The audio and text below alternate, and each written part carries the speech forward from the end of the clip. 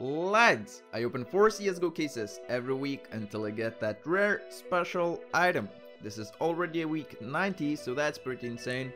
I have 4 cases in my inventory again, but before I start opening, I want to say that I will be doing a giveaway in my community tab where I will be giving away this USPS Torque with 4 MIBR glitter stickers. I do like this craft a lot. I hope that you will be using it if you get it. If not, that's okay. But Go find that post and enter the giveaway. Good luck. So, four cases. Starting off, we have Shattered Web case. okay, let's pray that this is the last week, okay? I need to name this video It Finally Happened or something like that. Come on. Give me gold. Gold, gold, gold. Come on. That's another blue. Surprise, surprise. Next case will be Phoenix case, come on. Of course, we're looking for a Karambit from this case. Will it happen?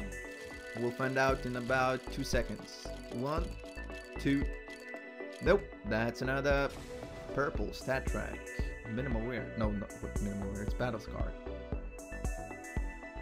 Triple eight float though. Could this mean that in the next case I will get gold? So let's open Recoil case then for a factory new gloves in three, in two, in one. Let's go. Come on.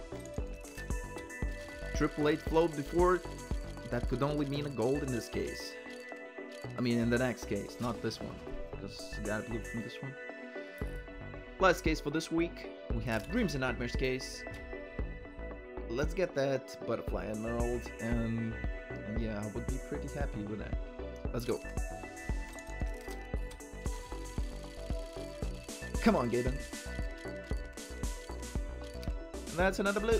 Well, I guess I will make another episode of this series.